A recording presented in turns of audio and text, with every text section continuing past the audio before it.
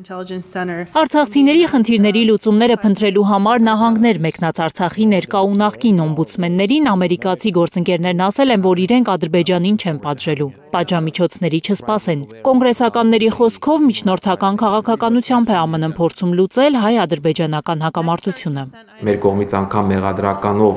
եղավ այդ հայտարարությունը, որ այլ երկրների պարագայումից շու միանգամից պատժամիջոցներ են կիրառվում, իսկ Ադրբեջանի նկատմամբ չէ, եւ պատասխանը այն էր, որ Ամերիկայի Միացյալ Նահանգները որթեգրել է ոչ թե պատժելու, այլ հնարավորինս միջնորդական դեր ստանձնելու ռազմավարությունը 60 կոնգրեսականի սենատորի հետ են Ստեփանյանն ու Բեգլարյանը քննարկել Արցախահայերի խնդիրները։ Իրենց հիմնական նպատակն է, որ արցախցիները անխոչնդոտ ու արժանապատիվ վերադառնան հայրենիք։ Հայաստանի Հանրապետության հետ երաշխավորված ցամաքային կապ, դա կլինի Բերձորի միջանցքը, դրա երաշխավորումը կրկին պետք է լինի միջազգայինորեն, մեր մշակութային ժառանգության պաշտպանությունը,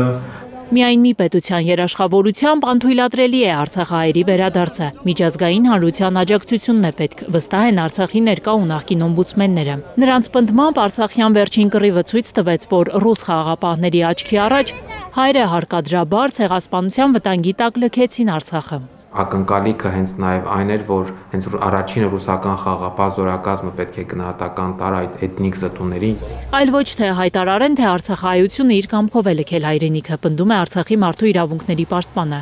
Վաշինգտոնում, Նյու Յորքում, Լոս Անջելեսում Ստեփանյանն ու Բեգլարյանը միջազգային գործընկերներին հայ համայնքի ներկայացուցիչներին պատմել են, որ ծայրահեղ ծանր վիճակում են Արցախահայերը ապրում Հայաստանում, իշխանությունների շատ փոքր աջակցությամբ այս իրավիճակը նպաստում է որպեսզի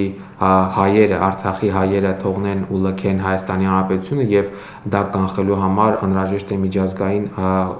գործուն աջակցություն։ Իսկ Արցախում մնացած մոտ 20 արցախցիները իրավունքներից զրկված են։ Կարմիր խաչի սննդի փաթեթներով գոյատևում են։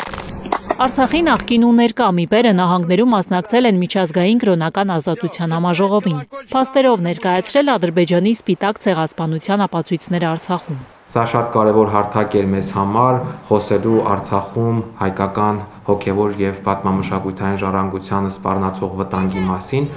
Որ Արցախի էջը միջազգային հանրության համար չփակվի, Բեգլարյանն ու Ստեփանյանը շարունակում են քննարկումները արտասահմանցի գործընկերների հետ։ Նրանց այնտեղ ակնարկել են, որ Արցախի երաշխավորը նախ եւ առաջ Հայաստանը պետք է լինի։